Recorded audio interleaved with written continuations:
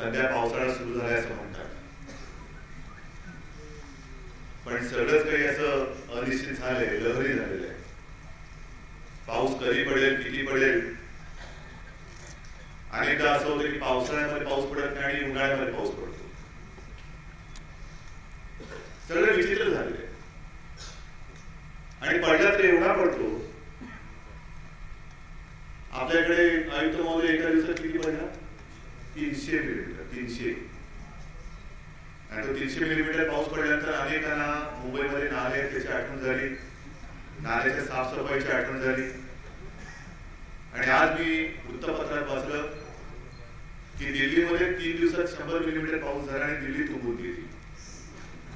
आता दिल्लीची महानगरपालिका कोणाकडे मला माहिती नाही. नाले आहेत की नाही माहिती नाही पण नाले असले नसले नालायक तर नक्कीच आहेत मी नाल्याच्या बाबतीत बोलतोय.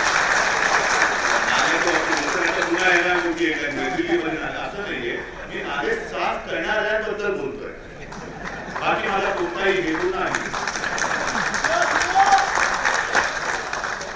असो एकूण आजची बैठक आयुक्त महोदयांनी सांगली असंच म्हणतोय आणि त्याला तुम्ही होती नाही सांगा ही माझी हक्काची माणसं आहे बरोबर नाही आणि ही सगळी त्याच्यात गणपती मंडळ पण आली त्या गणपती मंडळामध्ये सुद्धा शिवसैनिक आहेतच आणि शिवसैनिक तर शिवसेना प्रमुखांचीच आहेत ही लोक जी शिवसेना प्रमुखांनी जी पिढी तयार केलेली आहे ती नुसती नुसती अशी उत्सवली नाही ती जबाबदारी घेऊन पुढे जाणारी पिढी आहे आणि मग सध्या जे काय वातावरण आहे खरं म्हणजे गेले काही वर्ष मला कळत नाही कशासाठी आणि कोण करते आपलीच लोक आपली म्हणजे आपल्याच आपलीच धर्मीय लोक आपल्याच उत्सवाची लोक कोण करतात? आणि प्रत्येक उत्सव म्हटल्यानंतर नेहमी जे काय करतो त्याच्यापेक्षा वेगळं काहीतरी असतंच. पण आजपर्यंत निदान माझ्या तरी माहितीमध्ये नाही की रस्त्यावरती चालताना अडचण येते कारण तिकडे नमाज पडला जातो म्हणून कोणतरी कारवाई कोर्टामध्ये असं कोणी माझ्या पाण्यात आलेलं पण आपलीच लोक आपल्याच विरुद्ध मग तो गणपती असेल नवरात्र असेल. म्हणजे आपल्या याच्यामध्ये आवाजाचं घरी प्रदूषण म्हणून कोर्टात जातात पण भोंग्याचं घरी प्रदूषण जे आहे चालतं मशिदीवरचं ते यांना कधी ऐकले आणि मग कोर्टामध्ये जातात. आता कोर्टाचं मला काही आव्हान तर अजिबात करायचं नाही. ना कोर्टाची मला संघर्ष करायचा. पण जी काही विघ्न ही रोजच्या आयुष्यामध्ये असतात त्यातून कुठेतरी एक मोठा श्वास घ्यायला म्हणून हे उत्सव असतात. जसं कालच मी टीव्हीवरती पाहिलं आता आपण विसरून गेलो. नेमकं किती साल म्हटलं तर आपण तेही विसरून जाऊ पण अकरा जुलैला कधीतरी बॉम्बस्फोट मालिका झाली म्हणजे आपल्याकडे टीव्ही मालिका वेगळी आपल्याकडे बॉम्बस्फोट मालिका किती साली झाली? आठवलं झाली किती साली झाली? पाच साली दहा सहा साली सात साली आठ साली नऊ साली. नऊ वर्ष झाली म्हणतात अजूनही केस चालू आहे. कधी केसचा निकाल लागणार त्याकडे परवा विचार केला. पण केसचा निकाल कधी लागणार आरोपी जे म्हणून पकडले संशयित म्हणून पकडले त्यातले काही गुन्हेगार कोण आहेत? गुन्हा सिद्ध कधी होणार ते फासावर लटकणार की नाही लटकणार असेल तर कधी लटकणार? चालू आहे. चालू आहे. पण त्याहीपेक्षा आपल्याला हे जास्त गंभीर वाटते की हे किती महत्वाचं आहे जणू काय हा अतिरेक्यांचाच उत्सव चाललेला आहे. जणू काय आहे.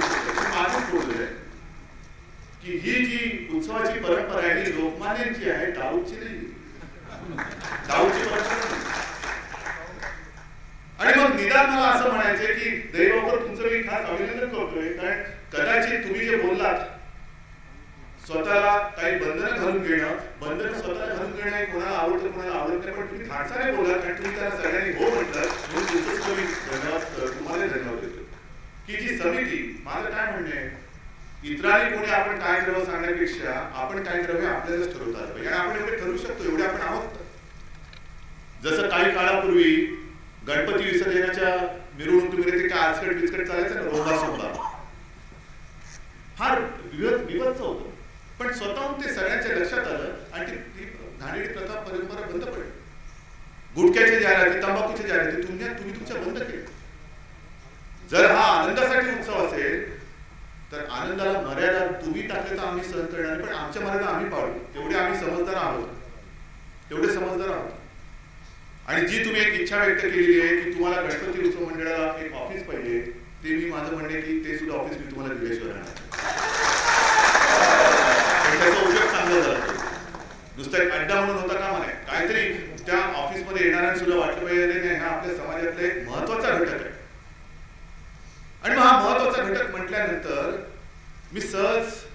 आपण दरवेळेला गणपती उत्सव म्हटल्यानंतर लोकमान्यांचा फोटो बघतो लोकमान्यांची मूर्ती बघतो लोकमान्यांनी ही परंपरा सुरू केली आणि मग त्यावेळेची ती परंपरा खरं ब्रिटिशांच्या असंच म्हणाल ब्रिटिशांच्या विरोधात एक जनजागृती व्हावी जनजागृतीसाठी म्हणूनच हा उत्सव सुरू केला घरातला गणपती लोकमान्यांनी रस्त्यावरती का आणला?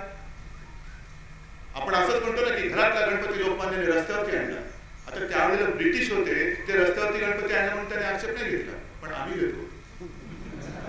आम्ही घेतो. रस्त्यावरती गणपती चालणार नाही इकडे चालणार नाही. नाही आम्ही रस्ते नाही घेतो पण त्यावेळेला आणताना सुद्धा लोकमान्य काय बोलले होते? मी सहज शोधला. आता ह्या गोष्टी पण सापडणार. नाही की लोकमान्य काय बोलले होते?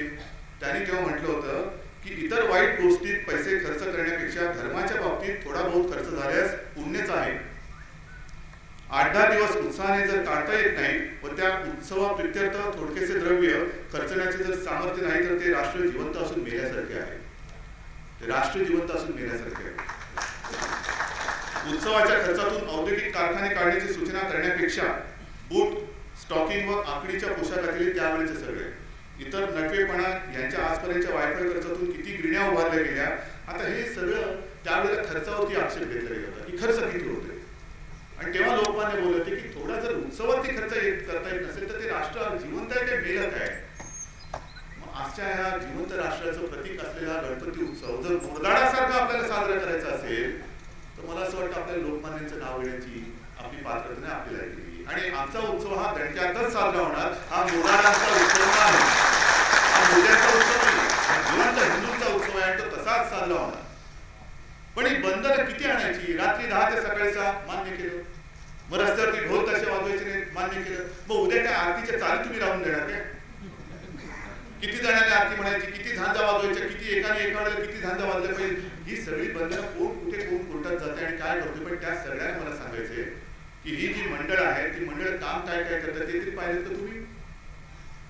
आहे मी मागे सुद्धा बोललो होतो लालबागचा राजा. इतर सगळे अशी मोठी मोठी आता तिकडे गेल्यानंतर लालबागचा राजा बाजूला गणेश गेली आणखी नांदेरीचा राजा सगळीकडे अशी मोठे मोठे सगळे उत्सव जे आहेत ही कामं किती करतात? मग पुन्हा कोणतरी म्हणेल हा म्हणे नवसाला पावतो. कसा काय पावतो? बोल नवस पावतो का बघ. तो आता जो पुण्यवान असेल त्याला पावेल तुझं नसेल पुण्य तुला काय? पण नवसाला गणपती पावतो म्हणजे काय करतो मला मी त्याचा अर्थ जो असा लावतोय की या मंडळाने जी काम मंडळ करते अनेक गरीब मुलांचा शिक्षणाचा खर्च नाही पावलं गणपती? डायलिसिस सेंटर चालवते स्वस्तामध्ये. ज्यांचा म्हणजे मृत्यू समोर दिसतोय डायलिसिसचा खर्च करण्याची त्यांची तयारी नाही अशा वेळेला या मंडळाने सुरू केलेल्या सेंटरमध्ये त्याचा खर्च अतिशय माफक दरामध्ये होतोय आणि तो वाचतोय. नाही पावलं गणपती कित्येक जणांना तरी माझ्याकडे त्यांनी मुद्दामून मी अजयकडनं ही यादीच घेतली की लालबागचा राजाची सगळी मंडळ आहेत सगळ्यांनी त्यांची कामं दिली तर केवढं मोठं मला वाटतं हे सुद्धा एकदा कोर्टात जाऊ द्या.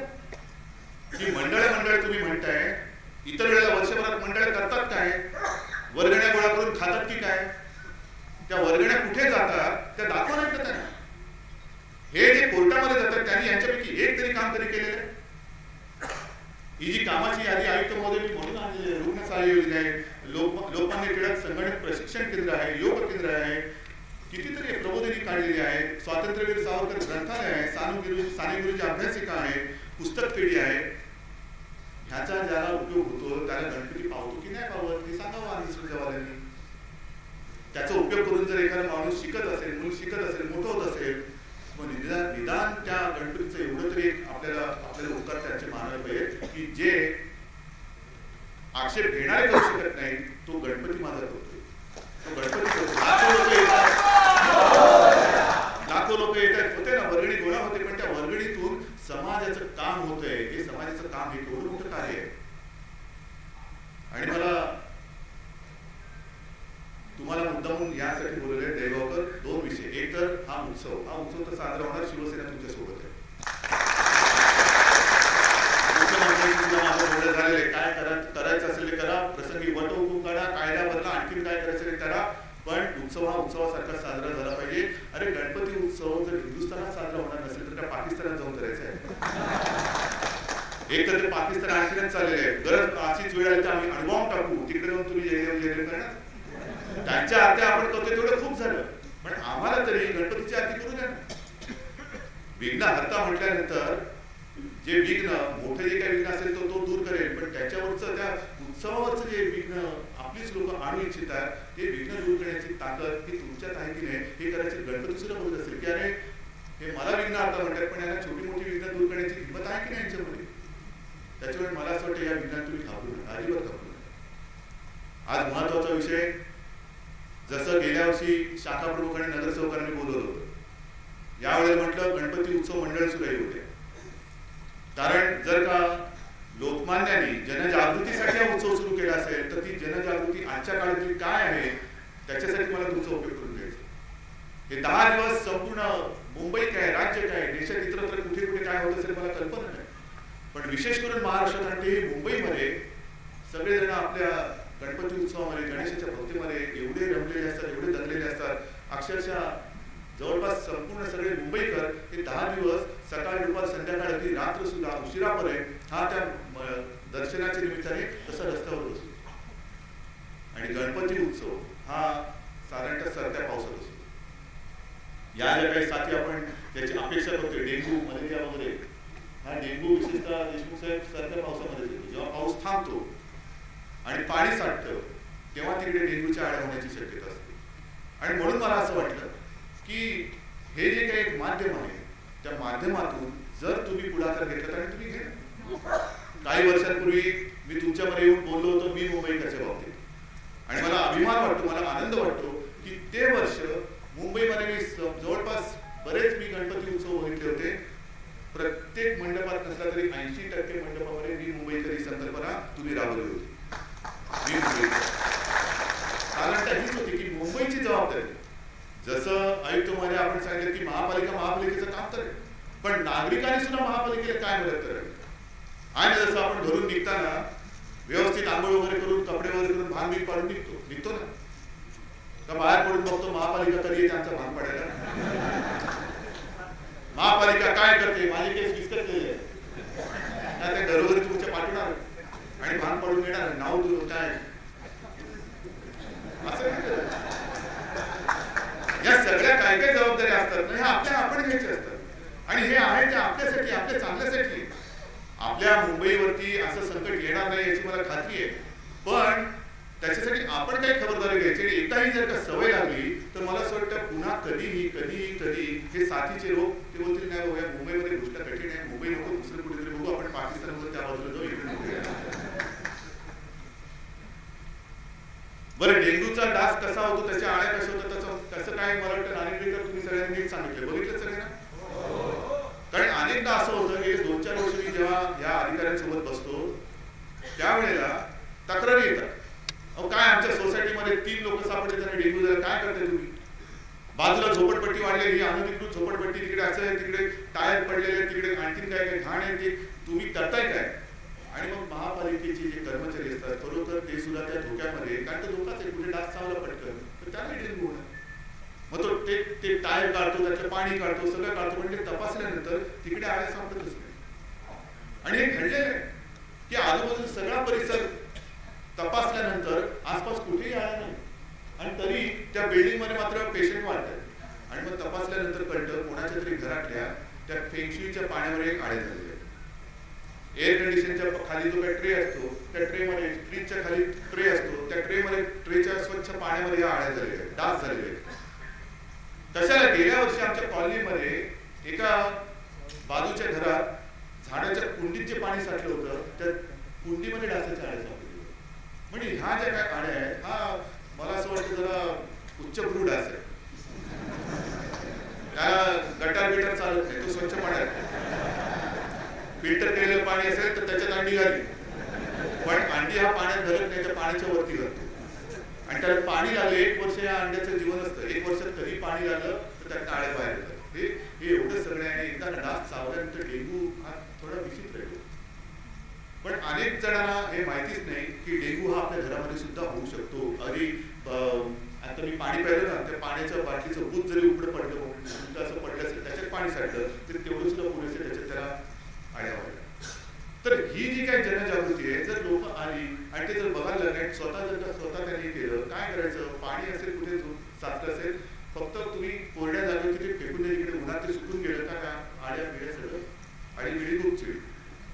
काय होणार पण ही जबाबदारी आता घराघरामध्ये महापालिका येऊन तपासू शकेल का?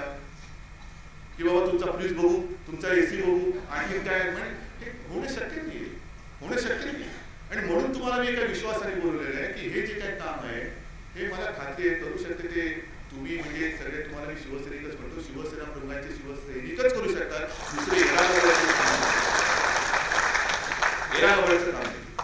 मी दीपक सावंतांना म्हणून बोललेलं आरोग्य आणि त्यांनी मला सांगितलं की उद्योगी तुम्ही जाहीर करा. दर शनिवार रविवारी आयुक्त महोदय त्यावेळेला मला महापालिकेची सुद्धा मदत पाहिजे. सरकार तयार आहे महापालिका आणि आमचे सगळे जवान सैनिक तयार आहेत.